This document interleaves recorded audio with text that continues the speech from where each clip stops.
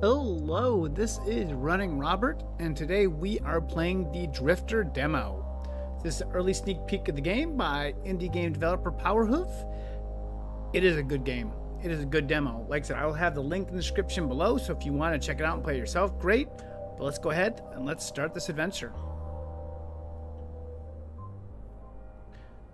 I jumped the car back in Breaker's Cut.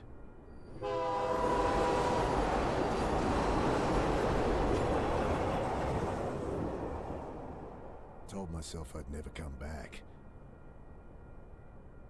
But well, shit. Here I am.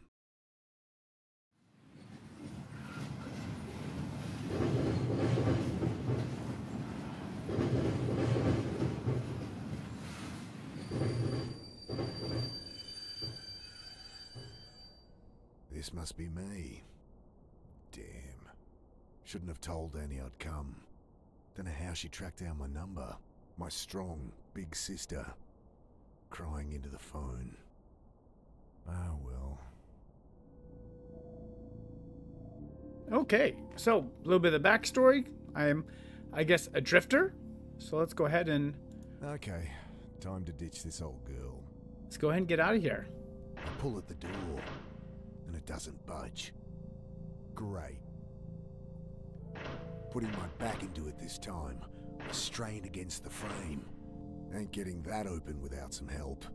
Okay, well let's look around. Um, I got some vents. Familiar skyline peeks through the vents of the old reefer. City hasn't changed much in the last five years. Jeez, what am I gonna say to Sarah? Hey, sorry about, you know, disappearing for half a decade. Jesus.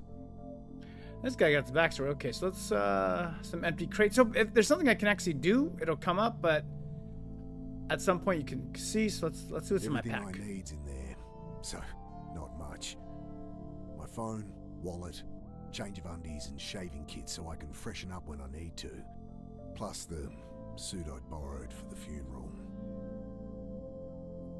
Okay, so let's. I stooped to pull back the tarp. Poor old guy had hardly stirred the whole trip, sleeping off one thing or another. Hey, give me a hand with this door. He mutters something under his breath, continues snoring. Okay, action item. So again, no interaction there. You can examine with the eye, talk to, or use. So let's let's try to wake him up. Bending down, I shake him by the shoulder. I fall back as the iron bar whistles past my face. Hey, watch it! Quiet! You'll get us killed again! You've lost it, mate. You have to help! He glances to the side, listening. You're right. Tried that. It's no use. What? Think, think! He continues muttering under his breath.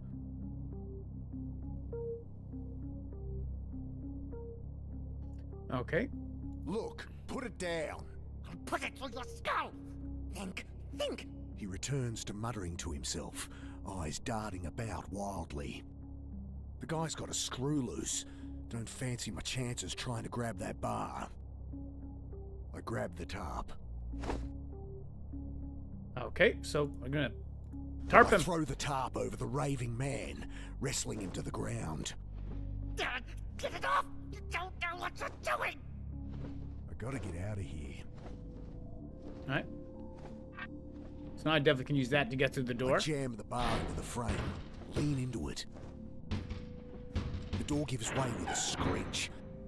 Sudden, blinding light stabs at my eyes. I spin back behind the door. The old guy, having finally freed himself, is caught like a rabbit in headlights. What have you done? Ah, shit. Security. The man looks around frantically. Relax, I've been caught freight hopping before and talked my way out of it. Hey, we're with Western Rail. Jesus, what the hell? You've got to break the cycle! I can't! Oh, that is dark. Oh, God! Okay, so we gotta get out of here. Squinting into the light, I glimpse silhouettes of armed men, waiting and watching. Can't make out who they are, but not Metro security, that's for sure. Oh, shit. All right, so let's see. Might be to but dive past this door. Let's try that. Bullets shatter past me as I dive across the doorway. So this is a sneak peek, so I don't think everything is animated at the moment, which is fine. Okay, so let's see how. What do I get? What do I got? Nothing in my pack. Oh, shit. There we go. Grabbing my pack, I throw open the hatch and leap into the blackness on the far side of the train. Then I'm tumbling down a steep siding, concrete rushing up to meet me.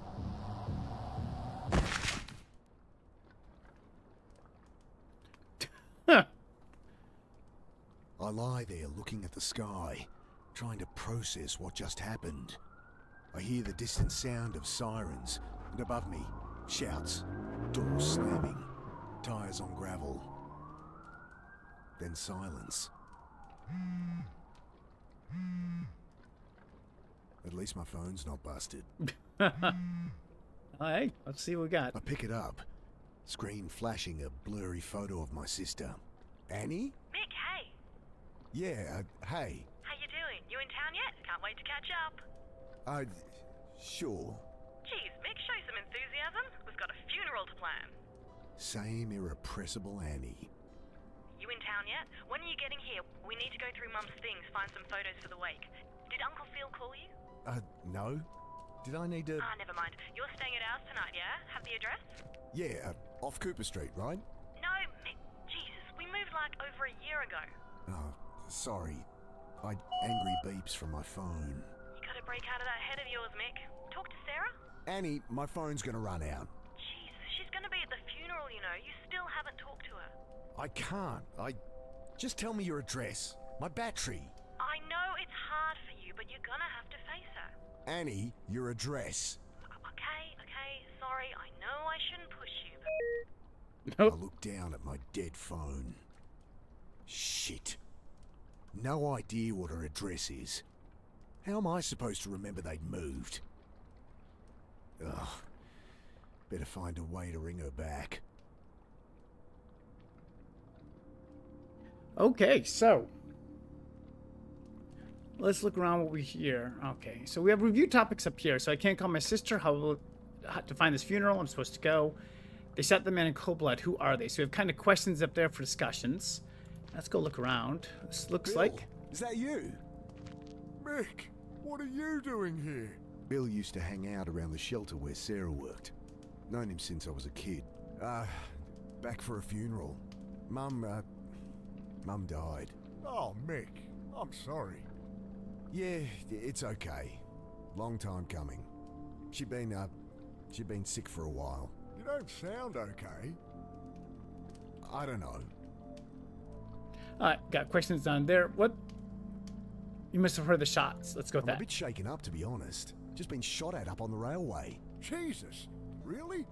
Thought that was some kids playing with fireworks. So what, some trigger-happy Met officers? Couldn't be.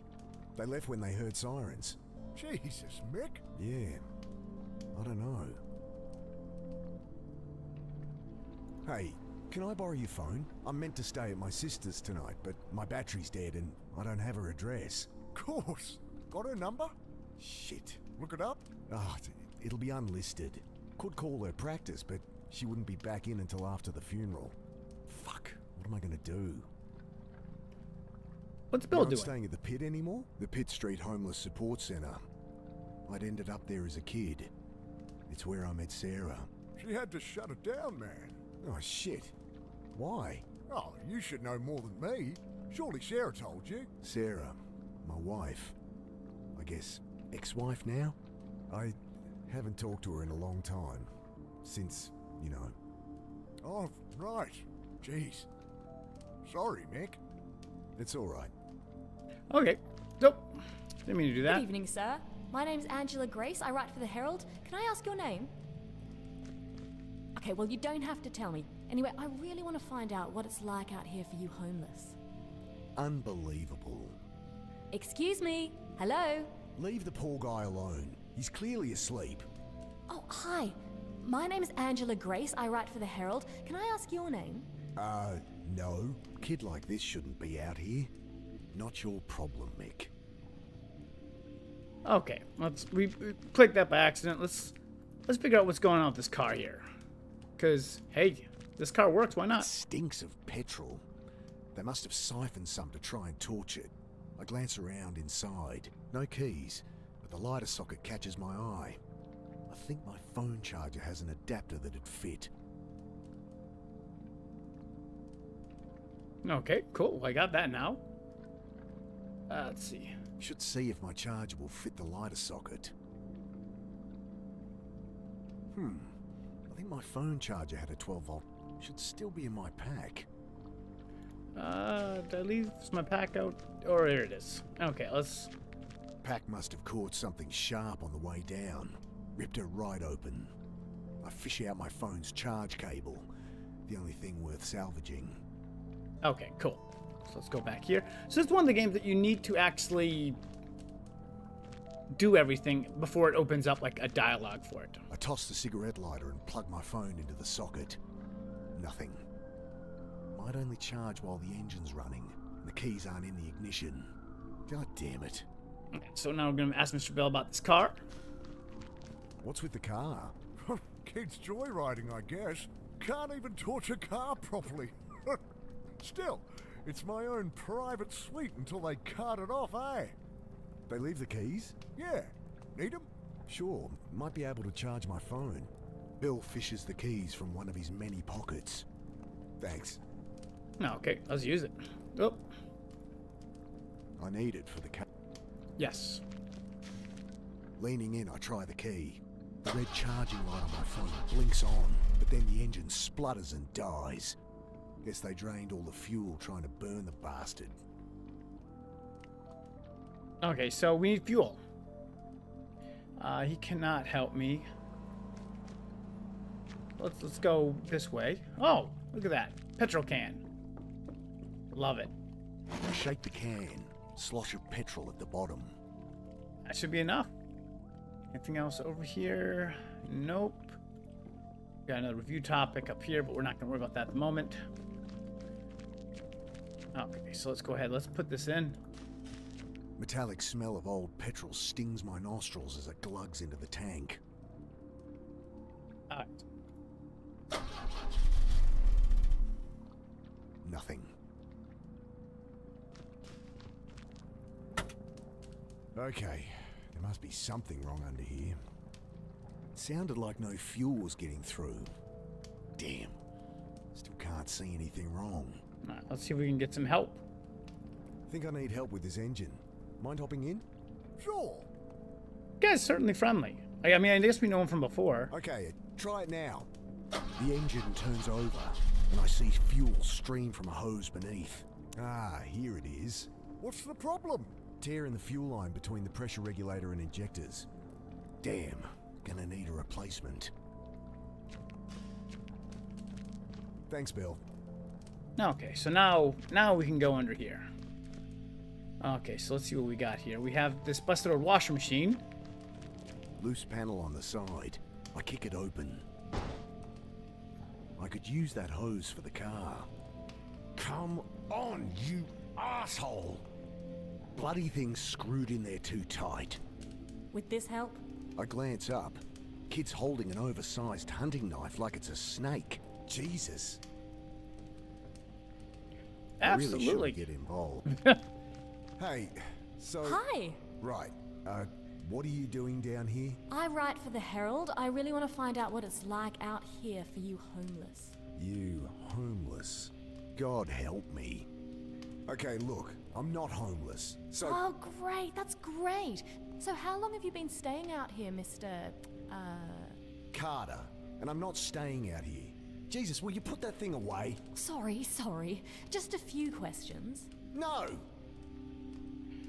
I need it. What are you doing carrying a knife like that? You know, protection. Jeez, all that's gonna do is get you stabbed.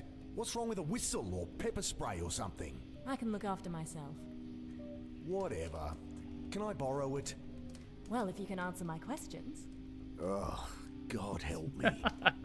Fine. Great. So, Mr. Carter, Right.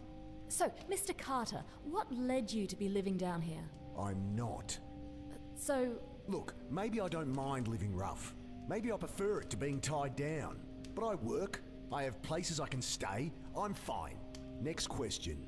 Okay, well, surely you've noticed the recent spate of disappearances, not to mention the mental illness related violent crimes. I'll stop you there. No, haven't heard a thing. You going to help me or not? Ugh, maybe I should ask Bill. Okay, let's go. Whoop. Oh, we got questions here. So, You'll hear about the shooting. She looks up sharply. Shooting? What shooting? Don't get involved, Mick. Oh, th- uh, nothing. Must have misheard. No, I'm interviewing about all these homeless going missing. That or going crazy. Right. Another college kid thinks they can fix people. Don't suppose you have a portable phone charger? No. Wait, you have a phone? Uh, yeah? Guess you think just because I don't have a place to stay, I don't have a phone. Well, I don't. Everyone has a phone, lady. all right, let's see. Okay, what was that about mental illness? Cops say they're swamped with violent crimes, hobos going nuts, spouting gibberish. Seen anything like that? That guy in the rail car. No, sorry. Look, folks take what they can to help them through the night, and there's a lot of bad shit out there. You get kids acting crazy all the time. Yeah, yeah, I know all this. Give me something I can use, alright? Ugh, I'll ask around. Okay, and then You think people have been disappearing? There used to be a whole community down here. Where are they all? I was a kid last time I was down here, but it does seem quiet. Cops are ignoring it, of course. Nice story, but it's just business as usual. Folks, they move on. Maybe they find a job, maybe they quietly die. No one gives a shit and no one's keeping tabs. It's all bullshit. If you want my help, just ask around for me or something. okay.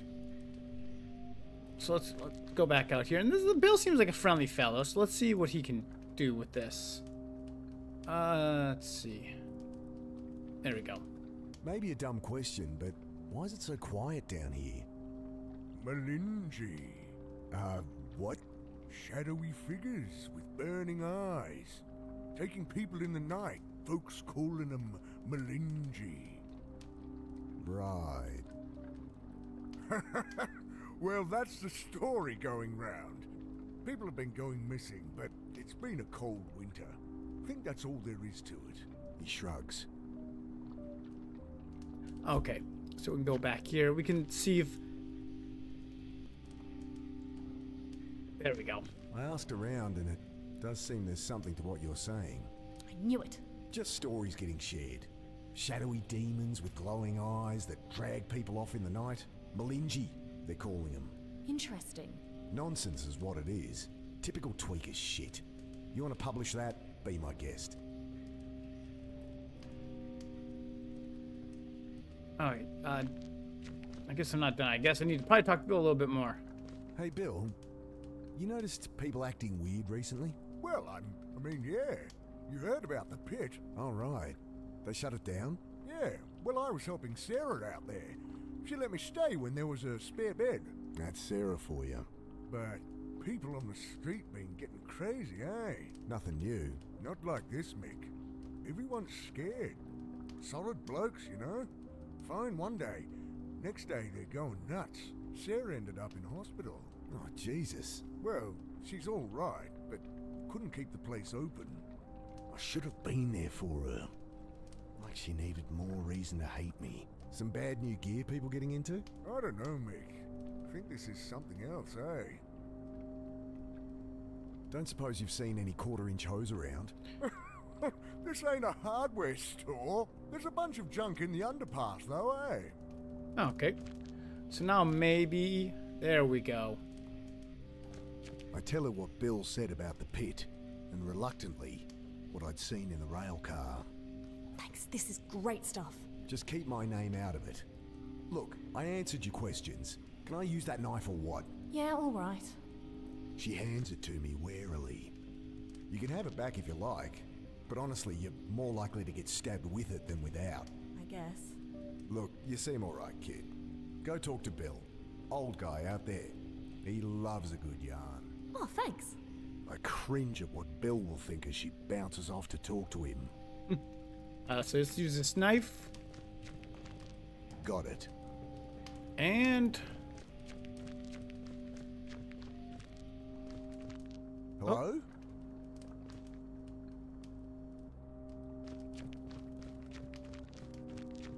The keys are gone. My charger.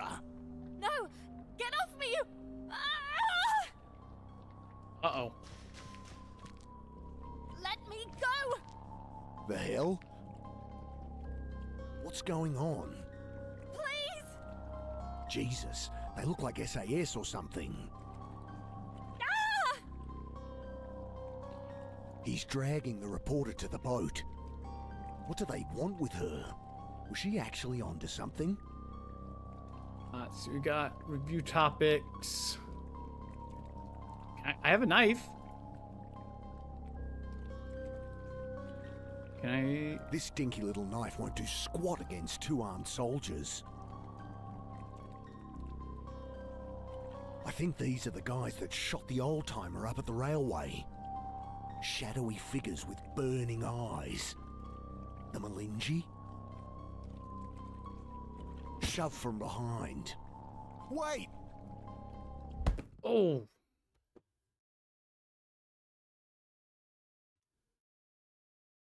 Sudden icy cold shocks me awake. Frozen, can't move, can't feel. I see only blackness. so I got a knife. Let's see if I can. I struggle, gasp in panic, and the blackness fills my lungs. Then I have no breath to scream. I try to fight it, but the ice in my lungs coils its way to my brain. And I know that I am dying. The cold blackness falls away, leaving only nothing.